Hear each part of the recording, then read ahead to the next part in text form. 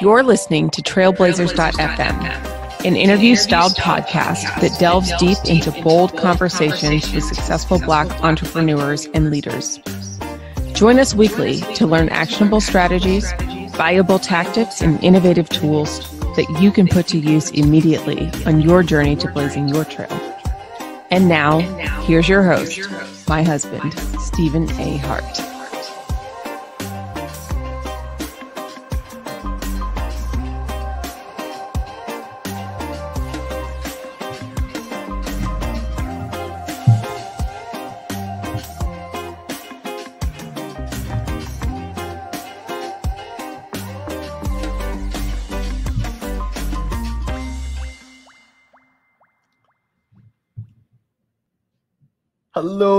And happy Friday to you. Thank you so much for joining us this morning. My name is Steve A.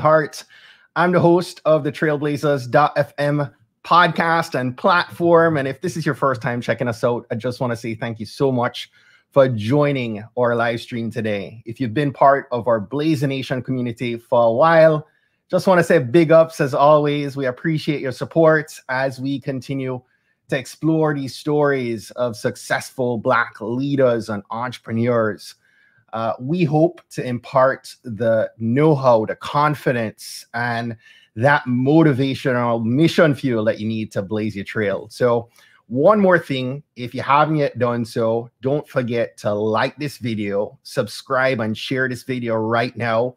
We believe that someone listening to these episodes, whether now or at some future point, are going to be impacted uh, by the content shared here today. So, today, our guest is Stephen Bailey. Stephen is the founder and CEO of ExecOnline. It's a leading provider of B2B leadership development solutions through partnerships with the world's top business schools. This is an amazing uh, brother. He's smart, graduated Phi Beta Kappa and summa cum laude uh, from Emory University and holds a JD from Yale Law School. So, listen, before I bring Stephen in, I just want to say good morning. I'm seeing so much love in the room. Good morning, Annette. Good morning, Ken. I, I see Stacy here. Craig, you're here. Jamila. Uh, listen, Ralston, I'm just loving it, man. Thank you so much for rocking with us give a, a, virtual welcome and join me in in in welcoming Stephen. So we're having a a double dose of Stevens this morning. Good morning, Stephen. Actually, I, I think I still have yeah. you. There, there we go. I didn't know if it was me or you, but uh, but yeah. from one Stephen to another, uh, pleasure to be here. Really looking forward to the conversation. Absolutely. Absolutely. So, Stephen, we start all our conversations off on Trailblazers from a place of gratitude. And so, the first thing I wanted to ask you is what's an unexpected blessing that you're most grateful for in your life right now? Yeah, um, you know, I, I, think one of the I, have had many, uh, and I think you know I, I have a great family. Um, I, I, had a great upbringing. Uh, you know, really set the table for um, everything I've been able to accomplish. Uh, so I always stuck there. Um, but I would say that you know uh, just being introduced to entrepreneurship when I wasn't expecting it was um, I think a real blessing that's kind of fueled my career. So when I was in law school, I assumed I was going to be a lawyer. Um, I uh, you know went to a couple of law firms uh, over the summers and and tried it out and wasn't passionate about it, but I didn't really have an alternative path, and I was fortunate enough to be introduced to a law school classmate serendipitously um, who had started a company before law school. Uh, and we sat down and had lunch, and he talked to me about entrepreneurship and what it really meant. Um, and I got really excited and kind of bit by the entrepreneurship bug. You know, I went to a law firm uh, right after law school. Always in the back of my mind, I was thinking, when is the moment when I can, you know, really uh, think about being an entrepreneur? And I think as a, particularly as Black entrepreneurs, I think there are a lot of stories like that. Often we are the first generation entrepreneurs in our families. Um, yeah. And um, we're not always exposed early to that world of possibilities. So that was really fortunate for me. Awesome. So we're gonna get into some of that and that entre leadership uh, gene, if you will, that um, has has been, um, you know, flowing through you over over these years. But I want to take you back for just a second, Stephen. I, I love to understand a bit more about our guest's story, right? So I know you went to Emory. I don't know your background. Are you from Georgia originally? I'm actually originally from New Orleans, uh, Louisiana, New uh, Orleans. Uh, born and raised. Actually, um, uh, I think this podcast will be published after the surprise, or I, you know, sort of for others that aren't on today. But I'm surprising my mom for her for her birthday, so I'm actually heading down um, to New Orleans uh, tomorrow, actually, uh, and try to make it home as much as possible. It's obviously been difficult with COVID we're really excited about that. But yeah, that's where I was born and raised, and then made my way up the, the East Coast. Uh, my next stop was Atlanta for college. Nice, Emory. So how long did you stay in Atlanta? I was in Atlanta for four years. So I, I wow. left right after um, college to go to law school. So uh, my next Got stop it. was uh, was New Haven, and that was very different than Atlanta and very different than New Orleans. When you think about growing up in New Orleans, what what comes to mind? Other than amazing food and amazing music. Uh, you know, most people, you know, I think what's interesting about being from New Orleans is there are certain cities where you're from that city and people associate it with something that's actually very different than how you think about it if you're a local. So the first thing anyone thinks of when you think of New Orleans is French Quarter, right? Bourbon Street. Uh, and you know when you when you're growing up and living in New Orleans, you're not there very often, and so it's a it's a really vibrant community um, amazing food, amazing music. Probably the closest, you know, I know you have Caribbean roots. Mean, probably the closest to the Caribbean in the U.S. Um, um, but I, would say more than than those things, probably most importantly, just the people. I mean, when you when you arrive in New Orleans, you're immediately greeted with warmth. People on the street say hello that have never met you before. That's something I actually had to unlearn when I moved up to the East Coast because whenever I'd say hi to people, um, you know, randomly they'd be like, oh, "This guy must be crazy." So, uh, but that's what I really miss about being back home you know, that's a part of my Caribbean gene uh, that I'm teaching these two kids right now. You know, I drop them off in the morning. I'm like, you better say good morning to everybody. I don't care if they don't respond.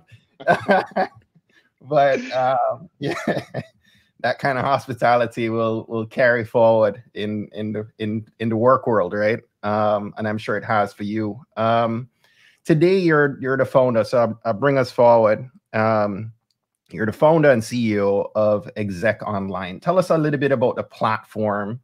Um, I know you shared a little bit um, in in the intro here, but tell us about you know what what sparked the idea for ExecOnline.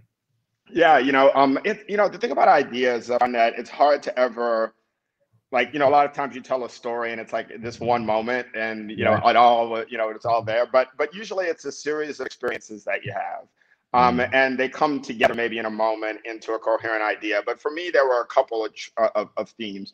So one, um, you know, I uh, was the CEO of a company previously um, named Frontier Strategy Group. I uh, worked with uh, organizations, typically large Fortune 1000 companies in emerging markets.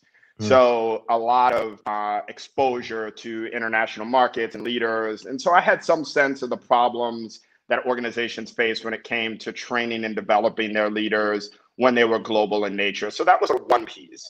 Uh, the other piece was as a Black entrepreneur, I also experienced a lot of being the only person in the room, particularly in leadership conversations, whether it was raising capital. And I think in my entire career raising capital, I've met three Black partners uh, that, that, that are actually at venture capital firms. Uh, and that's over a decade of time. I also, when I traveled around the world to these different cities, we host events for our clients. Very few Black people in the room, very few minorities in the room generally, very few women in the room. And so the other passion that kind of combined with that was could we create a world in which we allowed more democratized access to leadership mobility in organizations? So rather mm-hmm. than these really blue chip institutions only being available to the few. You had to be tapped on the shoulder to go to Stanford or Wharton or Columbia for any of their executive certificate programs. Could we bring that online and democratize access so that more people like you and I would get access to those types of, of programs? So it was really that those two experiences coming together, actually on a walk in Harlem, uh, which is where I'm, I'm joining from today and where my wife and I live uh, that was sort of the light bulb of maybe there's something here. So, what do you compare um, the programs that you so versus? Is this purely focused at uh, people of color? It's not. So it's it's broadly focused for all leaders. Mm. And what it's not are MBAs. So these are not multi-year commitments where you get a degree from one of these schools. These are short form, uh, would have traditionally been called executive education programs that might mm-hmm. range anywhere in our portfolio from one week to six weeks. And at the end, you get a certificate from that school in that uh-huh. area of focus. So it could be strategy, innovation, finance.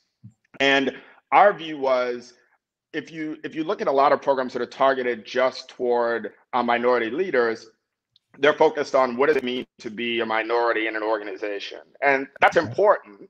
Um, but if I want to advance to the highest levels of leadership as a minority leader, I still need the same skills and training around strategy, innovation, and finance, and all these areas that are going to be important to development. And so our view was if you could make it available to everyone, absolutely, that you remove that unconscious bias that typically exists in organizations where people who get tapped for the best opportunities often look like the people who are tapping them.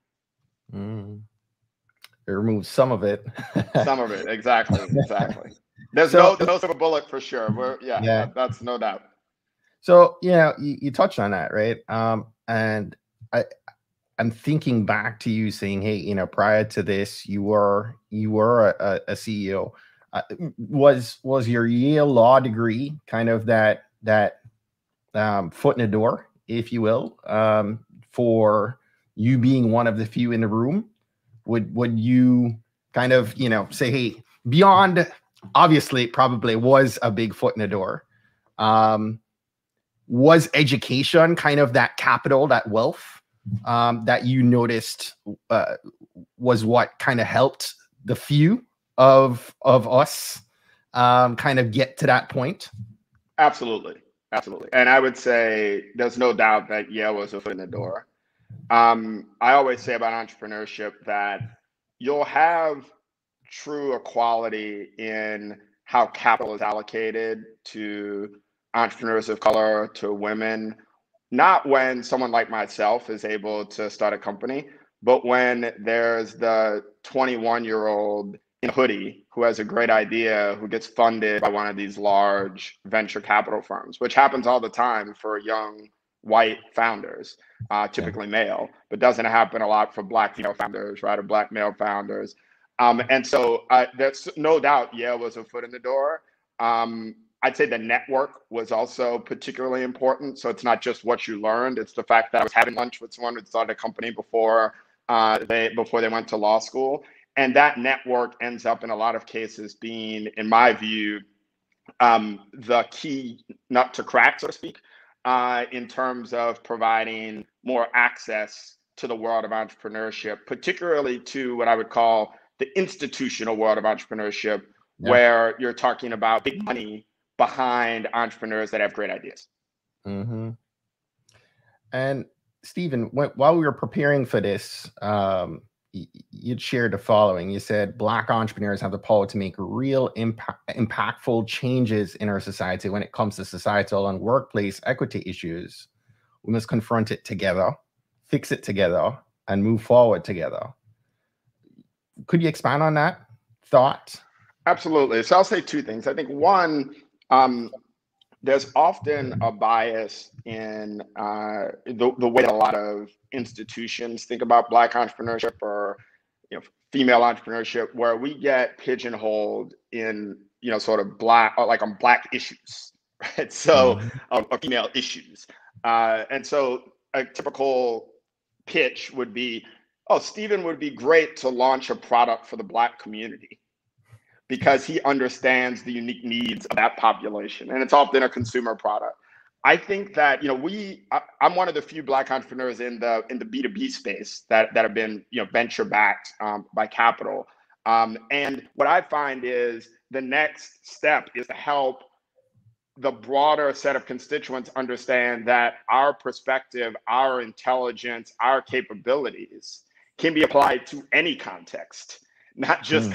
Context in which uh, you know, there might be a, a perception of a need for Black perspective. And so I think the more that we as entrepreneurs are really pushing ourselves to, to enter every area of entrepreneurship not yeah. just areas that we're pushed into, because that's where you'll be guided. Oh, yeah, you should do something in this area. But I think we've got a bigger opportunity to say, whether it's enterprise software technology or consumer product or anything else in between, we have a role to play. Uh, and we've got a lot of talent to bring uh, to this market.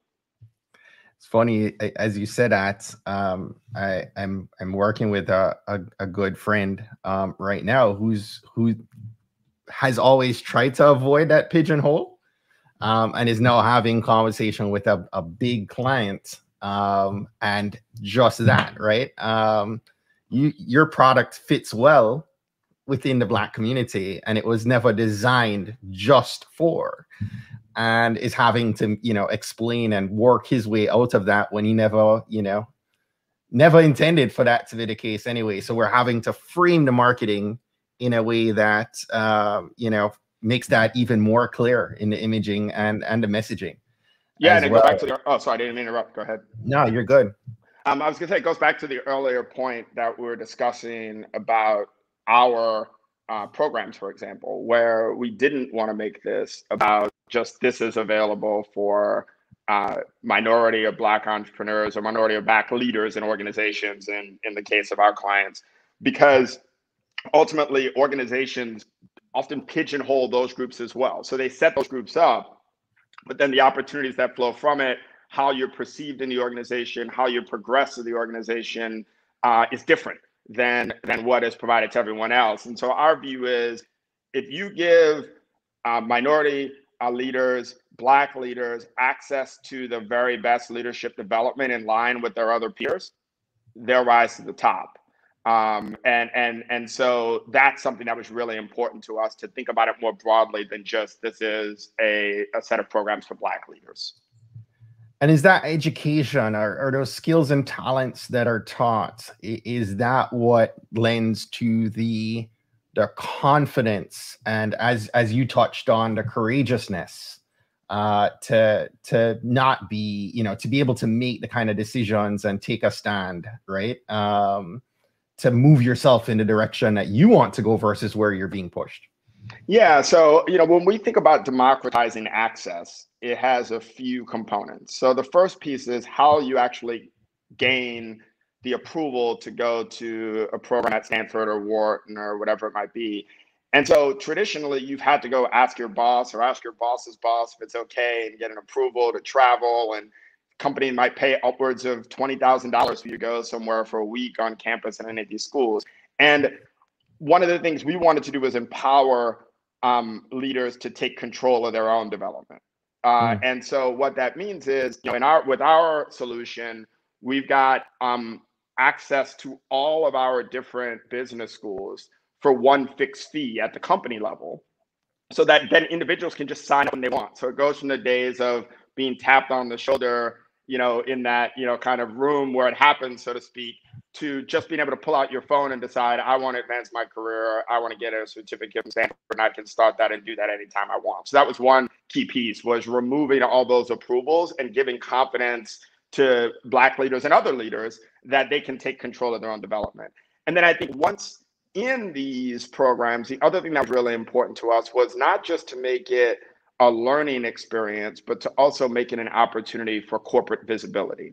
So we build projects into all of our programs um, that often end up getting presented to your boss or to senior leadership in the organization that are kind of stretch assignments for you. And often that's the hardest thing, particularly for a minority leader to get access to, are those like coveted stretch assignments. And so by building that into our programs, allowing leaders to stretch themselves as they learn, and then show the organization I've got this set of capabilities that have prepared me for the next level of advancement. Uh, to us was another key piece of the puzzle. Wow. So, kind of pulling back to you, Stephen. Um, this sounds amazing, and you know, I I commend you. I I saw you know metrics when when Kathy and I first spoke that you know you've raised tens of millions of dollars, and you touched on the venture capital uh, you know, being being one of the few to raise. Um, you, I'm sure you've come a long way through a great many failures, right? In in building ExecOnline, um, and I, I find you know it's it's uh, for the entrepreneur um, in our community, um, we learn quite a bit from not just the successes but the failures. Um, is there is there any any of the many that come to mind um, that you know probably had you ugly cry, right? um, you know, what was the lesson? Talk to us about that. You know, a, a failure um, and and the lesson learned through that. Yeah, so I think the early days of entrepreneurship are defined by so many micro failures that it's hard to just pinpoint one. So, for example, when you're going out and raising capital, you might you might speak to 50, 100 different uh, potential investors to get to one or two that are interested. And I think you know every meeting is often, you know, you know going into the meeting that there's a 90% chance or more that you're going to leave with that investor saying, oh, that's interesting, but we're not interested. And so part of it, and, and that's also early days when you're pitching customers or pitching business schools, you're getting a lot of no's. Mm. And I think one of the hardest things for entrepreneurs to figure out is when the no's you're getting are just because that's the nature of the game. And when the no's you're getting are because you you there's some there's an issue with your idea. Mm-hmm. Uh, and so you know it's that it's that balance of you want to be confident, you want to take you want to step into a meeting and always be able to put your best foot forward and really believe. Because if you don't believe in what you're doing, there's no way you're going to sell anyone else. So you have to mm-hmm. believe in it. But how do you believe in it when people just keep telling you no?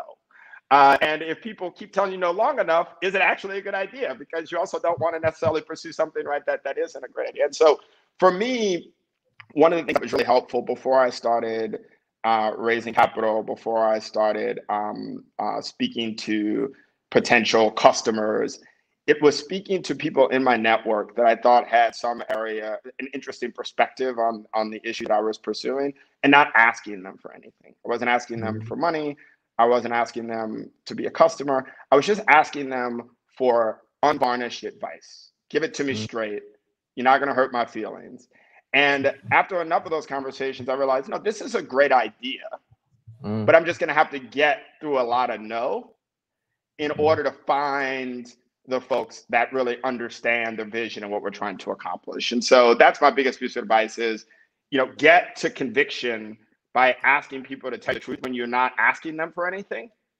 Uh, because then they will tell you the truth. And then once you have that conviction, stay through a lot of those no's uh, in order to get to yes that's a gem right there um because it's it's easier heard than applied right? Um we we hear that quite often um but it's you know until you get into sales and until you get comfortable hearing no and and able to to to to let that roll off your back and and keep making that pitch um it's not easy by any measure. Uh with with building this and and raising were you I, I think of the different pieces, right? Um, you're you're building relationship to be able to deliver, uh, to to be able to deliver this training. Um, you have these B two B relationships. Are were you able? To, of course, you heard a whole bunch of no's. Did you have to get to some yeses before you were able to raise and have that proof? Or were you able to raise you know uh, uh, which came first? Yeah so i've always said this to, to young entrepreneurs. People are thinking about entrepreneurship. Every great entrepreneurial story starts with the ability to solve a very difficult chicken egg problem. Yeah. Uh, and so in our case if you think about what we do we work with top business schools. Yeah. we partner with them to take their programs online and then we sell those programs that we partner with them on to companies. So the big chicken egg problem that immediately presents itself is who comes first, the school yeah, or the, school. or the you know the company, right? That's what I'm uh, thinking about. yeah. and uh, you know, Stephen, I'm going to tell you the short version, but I, will say right, you know, you know these versions, you know, these stories after the fact always make you seem like, oh yeah, you figured it out, you were such a genius. It was a lot of trial and error, and we wow. we were wrong a lot. We started, you know, we had a lot of uh, stops and starts trying to figure out this chicken egg problem. But ultimately, where we landed was that you were more likely to get companies to move first mm. if you positioned what uh, you were doing in the right way. So what we said to them was not spend a lot of money buying this thing you haven't seen yet. Uh, what we said was we used the fact that we didn't have anything to our advantage. So we said, why don't you co-create this with us? Mm-hmm. And if you look at the data and the research on, on people, because when you're selling these early things, you're selling to people. You think you're selling to large companies, but you're really selling that individual yeah. in an organization that says, I want to take a, a bet here. And if you look at the data on people, about 20% of people are early adopters. They want opportunities like this to help you create something cool. And they're in their day job and they go home every day and they might be bored. And they like that day where they can come home and talk to their wife or their kids about something really interesting they heard about at work. And so we want it to be that really interesting thing. And so we talked to about a 100 different companies, and there's no substitute for, you know, at this point it was me and a, a couple of, of co founders. Um, we talked to um, about 100 organizations. And what do you know? About 15 of them, so close to that 20%, said, We'll co create this with you. But the way we did it was to make it super low risk. We said, Look, don't pay us now. At that point, we'd raise just a little bit of, of money. We said, We're going to build, we're to build this with you over a series of months. And if at the end we deliver it on time within what we've outlined, then you're in, right? Then you're committed.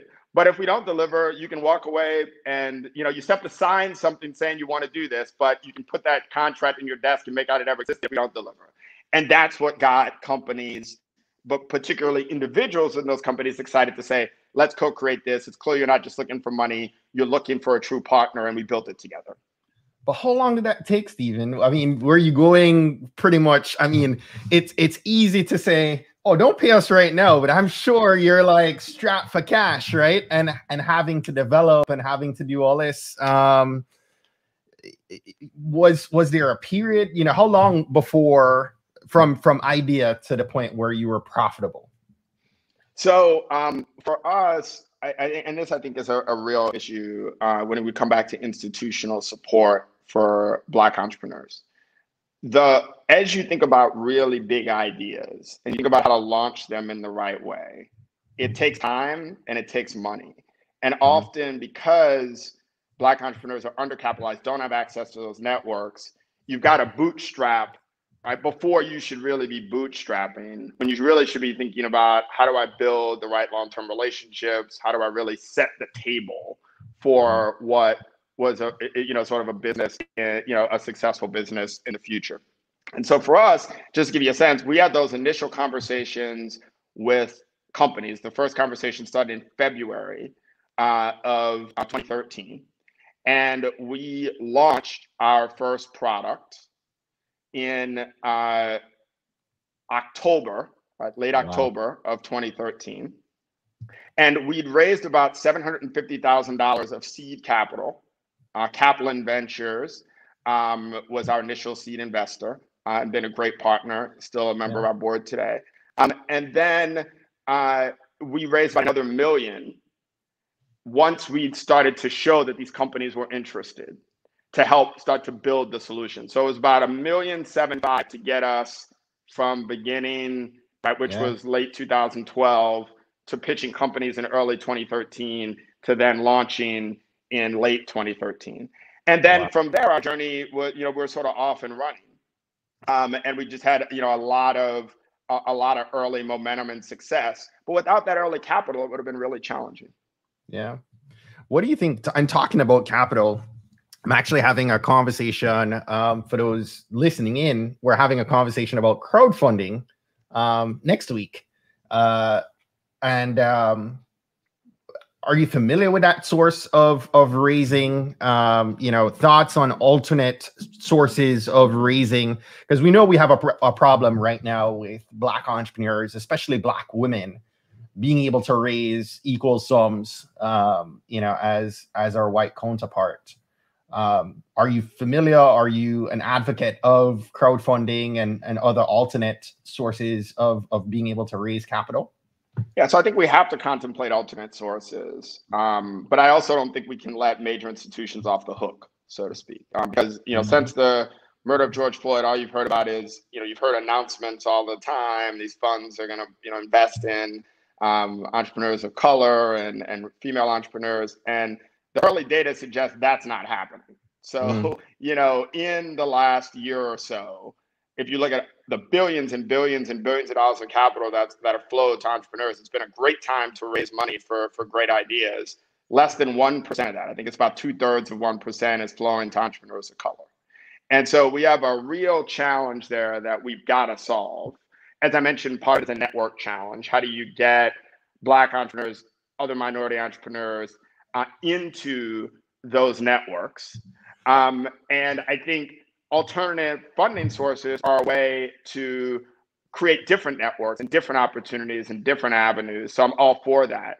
But what I wouldn't want to happen is to say, okay, great, we've got these alternate funding sources, and so we're letting the largest institutions off the hook because the the the size of the capital that they can provide is just different in kind than our crowdsourcing, you know, sort of uh, platform or other alternate platforms. Those are the institutions that can really fund massive ideas um, that change the world.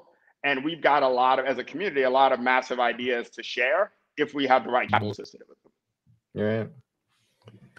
Stephen, I, I I feel like you and I will need to have a part two, man. I, I'm loving this conversation. Um, thank you so much for taking the time this this Friday morning to to rock with us. Before I let you go, our Blazer Nation loves to hear the resources of our featured guests, and so I was curious, you know, what books are you reading or have you read recently that you think we should add to our reading queue?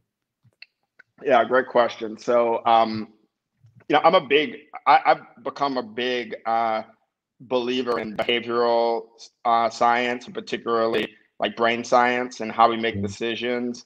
Mm-hmm. Um, and uh, I think that area has really helped me improve uh, as a leader. Uh, and you know, particularly because I think as you move into more senior levels of leadership, you're thinking about how do you inspire and lead people one of the, the key things you understand is people process information in a very specific way and it's actually more predictable than you might think and how you position how you present how you show up makes a huge difference in terms of how people take in what you're doing and so the book that got me started on that journey um, was uh, Thinking Fast and Slow uh, by Daniel Kahneman. Uh, and it's about uh, brain science, and in particular, the two parts of your brain brain, the part of your brain that processes decisions really quickly. Uh, and frankly, without a lot of contemplation. So you're crossing the street, a car's coming. What do you do? Get out of the way. That's that, that's that part of the brain. Uh, and yeah. then there's the part of the brain that is um, that really contemplates deep thoughts, right, around um, you know issues like I'm starting a company and what are all the different you know kind of considerations I need to take into account and and how you understand information process to through those two parts of the brain makes a big difference in terms of how you tackle things like bias for example right which tend to be knee-jerk reactions to people based on you know initial identity and those sorts of things. Good stuff. How can our, our listeners and, and viewers hanging with us here how can they stay connected with you beyond today's conversation? I, from a video standpoint i've been sharing uh, your your links here but tell those listeners uh, how how they can connect best way to connect with me is always through linkedin uh, so uh, i am i'm on linkedin um, and you know shoot me a message reach out to connect would love to hear I'm always inspired myself by people's entrepreneurial journeys and, and what they're trying to accomplish, particularly Black entrepreneurs. And so would love to love to hear what, what we're all up to. Good stuff. Stephen, my last question for you today. What's one action that our Blazer Nation should take coming away from this conversation that's going to help them to blaze their trail?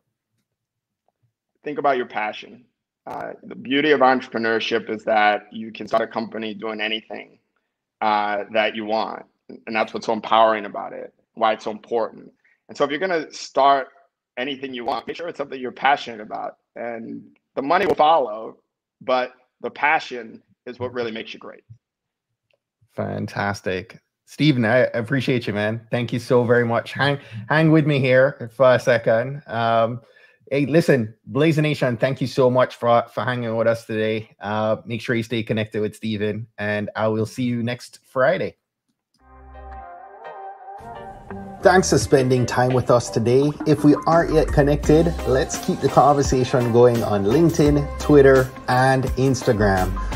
Now, we grow when you subscribe, share, and invite others to check us out. We believe that others who consume these stories will be moved to make significant changes that have generational impact for many others, both now and well into the future. Blaze Nation, go out today and keep